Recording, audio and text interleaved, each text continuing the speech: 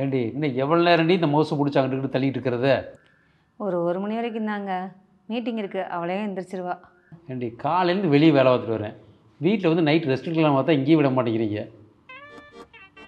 ஆமாம் உன் மக படித்து என்ன ஆவேன்னு சொன்னால்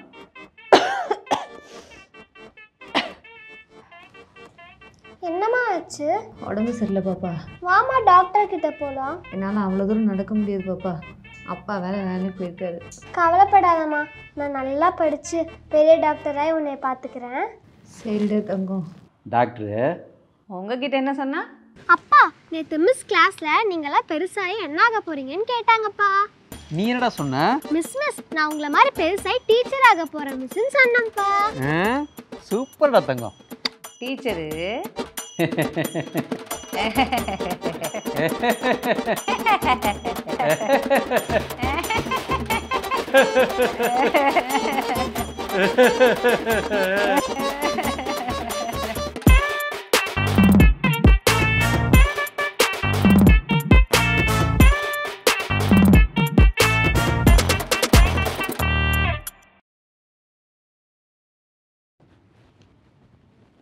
அண்ணி ரெஜி வா வா வா.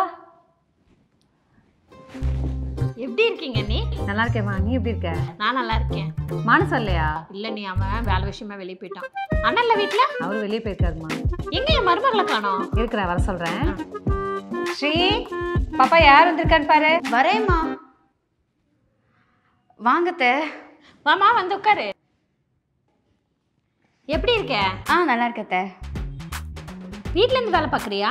ம் ஆமாத்த புதுசா ஏதோ வேலை ட்ரை பண்றேன்னு சொன்னாங்க? ஆ ஆமாத்த. அதுவும் ஒர்க் ஃப்ரம் ஹோமா ம் ஆமாம் அப்புறம்? ஆ அத்தை மேனேஜர் கால் பண்ணுறாரு பேசிட்டு வந்துடுறேன்.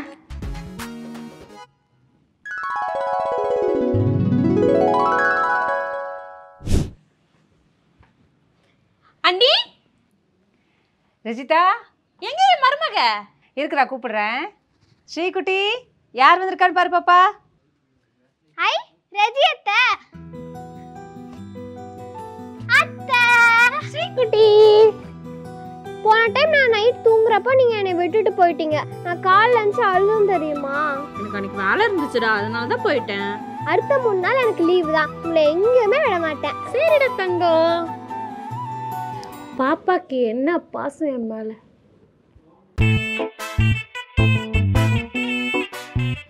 Time change people change Subbu அண்ணி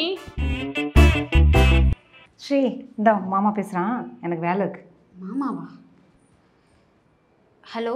ஏய் நான் தான் மானஸ் பேசுறேன். மானஸ் நீயா? சொல்லுடா. ஏய் செல்லம்மா மாமான்னு கூப்பிடுமா? மாமாவா? உன்னை அன்னைக்கே மாமன் கூப்பிட மாட்டேன்னு சொல்லிட்டேன்ல. ஏன் ஏன்? ஓ உனக்கு அப்பா வேண்டாம் இப்போ வேணுமோ? என்ன அப்ப வேணாம் இப்ப வேணும்? உனக்கு தெரியாது.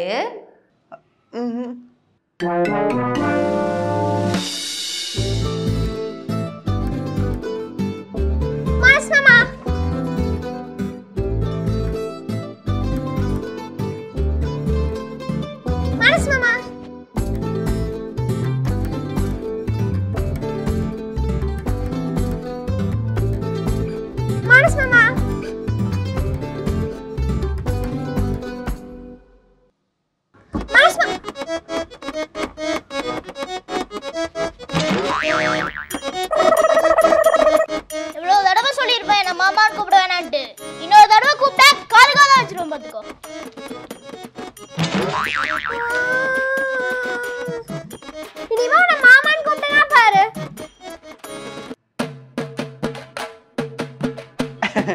அது அறியாத வயசு புரியாத மனசு பை மாமா மானசு.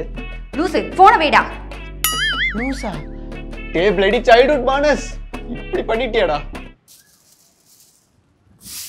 அம்மா குடும்ப நான் கூட்டுறேன். பாப்பா உனக்கு ஹோம்ஒர்க் இருக்குல்ல போய் பண்ணு போ. நானும் காலையில இருந்து பார்த்துட்டு இருக்கேன் நீயே துணி துவைக்கிற நீயே பாத்திரம் விளக்குற இப்போ நீயே கூட்டுற. குடும்பம் நான் கூட்டுறேன். நானே இப்போ பெரிய பிள்ளை ஆயிட்டேன்ல ஃபிஃப்த் ஸ்டாண்டர்ட் போயிட்டேன். எல்லா வேலையும் நானே பார்த்துப்பேன். குடுமா? சொன்னா கேளு பாப்பா. போய் எழுது போ. குடுமா பரவாயில்ல. நான் சொல்றேன்ல கூடு. இப்போவே நம்மளை வேலை செய்ய விட மாட்டேங்கிறாளே. பெரிய பிள்ளையானவுடனே கம்ப்ளீட் ரெஸ்ட் தான். காலையிலேருந்து சரியான ஒர்க் டே செம்ம டிப்ரெஷன் ஏதோ நீ ஃபங்க்ஷன் சொன்னால செம்ம ஹாப்பி ஆயிட்டேன்.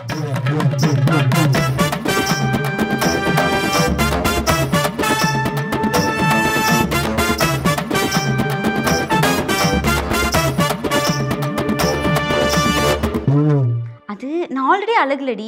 அதில் போட்டு இன்னும் அழகாயிருவேன். எவ்வளோ வேலை செய்கிறேன் ஏதாச்சும் ஹெல்ப் பண்ணுறாளா அதில் பண்ண முடியாதுடி. என்னது டியா? எப்படி பண்ண முடியும் போகும்போதே மேக்கப் போட்டால் கலைஞ்சிரும்ல. நம்ம அங்கே போய் போட்டுக்கலாம். அதெல்லாம் நம்ம கண்டுக்க கூடாதுடி. உதச்சி தள்ளிட்டு போயிட்டே இருக்கணும். நம்மளாம் யாரு? சிங்க பெண்ணே. ஏய் ஸ்ரீமதி காலையிலேருந்து இவ்வளோ வேலை பார்த்துட்டு இருக்கேன்ல. ஏதாவது ஹெல்ப் பண்ணக்கூடாதா?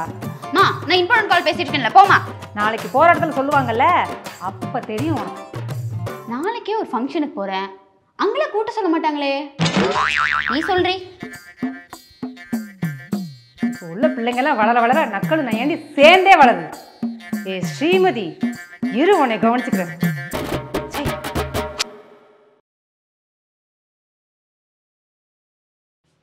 நைட் தானே பார்த்தேன்.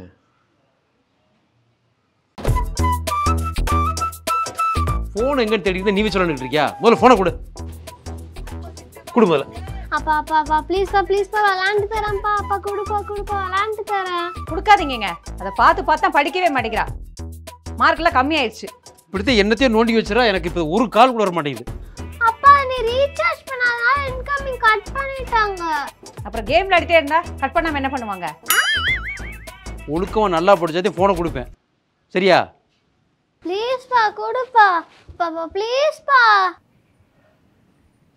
ஸ்ரீ அம்மா கொஞ்சம் ஹாட்ஸ்பாட் தாயே ஹாட்ஸ்பாட்டா அதெல்லாம் ஆன் பண்ண முடியாது. போமா ஒரு அஞ்சு நிமிஷம் பாப்பா. அம்மா முடியாது. போமா இப்படி தான் அஞ்சு நிமிஷம் ஹாட்ஸ்பாட் ஆன் பண்ணி விடுன்னு சொன்னேன். நான் சீரிஸ் பார்க்க வச்சிருந்த மொத்த நட்டி சீரியல் பார்த்தே காலி பண்ணேன். அதெல்லாம் ஆன் பண்ண முடியாது. போமா ஒரே ஒரு சீரியல் பார்த்துக்கிறேன் அம்மா முடியாதுல முடியாது. போமா இப்போ இங்கே என்ன பிரச்சனை? அப்ப பாருப்பா சும்மா ஹாட்ஸ்பாட் ஆன் பண்ணி விட சொல்லி தொல்லை பண்ணிட்டு இருக்காங்க. இப்படியே ஃபோனை பார்த்து பார்த்து கண்ணு கண்ணாடி ஒரு நிலம வந்துருச்சு. உங்கள் அம்மாட்டு முதல்ல ஃபோனை பிடிக்க வைக்கணுமா? ஹாட்ஸ்பாட்டை தரமாட்டேங்கிற? ஏதாவது ஃபங்க்ஷன் வந்தால் சாரி கட்டி விட சொல்லுவேல? அப்போ வச்சுக்கிறீங்க ஒன்று அவள் கிடக்குறாமா அவள் பேச்செல்லாம் கேட்டுக்கிட்டு.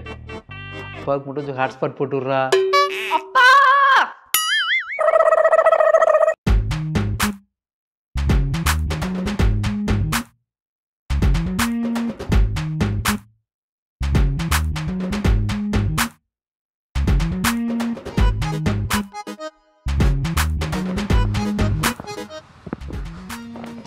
இன்டர்வியூ என்னாச்சு?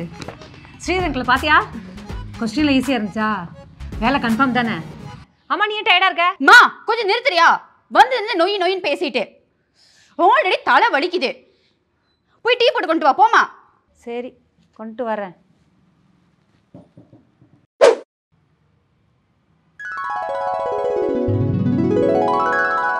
அம்மா இன்னைக்கு ஸ்கூல்ல என்னாச்சு தெரியுமா? ரன்னிங் ரேஸ்ல நான் தான் ஃபர்ஸ்ட் ப்ரைஸ் அப்படியா? வெரி குட் தங்கம். அப்புறம் என்னாச்சு தெரியுமா?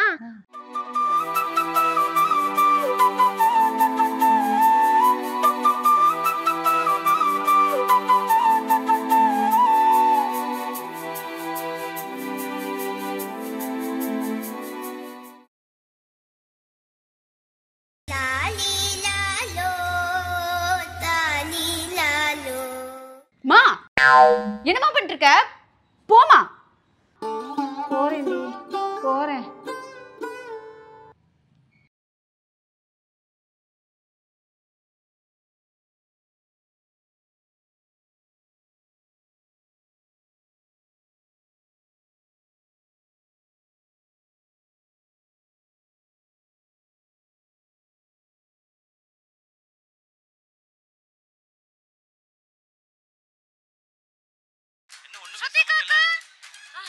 இப்பதான் வந்தது இன்கிரீடியன்ட் பிரிஞ்சு எல்லாம் கேட்டா பிரிஞ்சாலா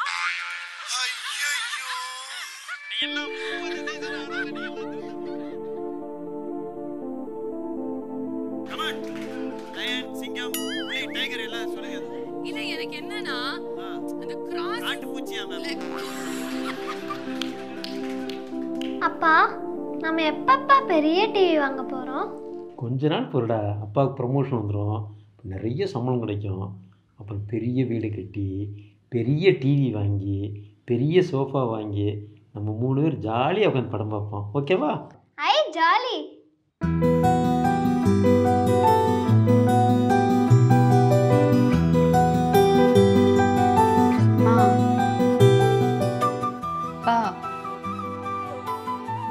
உங்களுக்கு ஞாபகம் இருக்கா?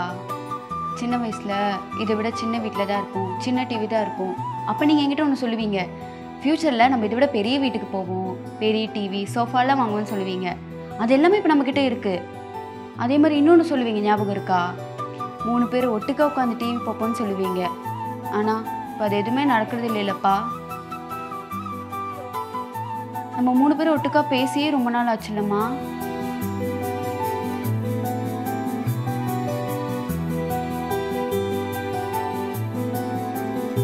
ஆமா.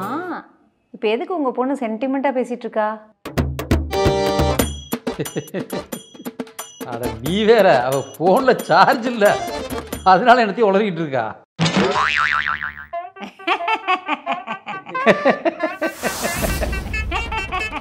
Ha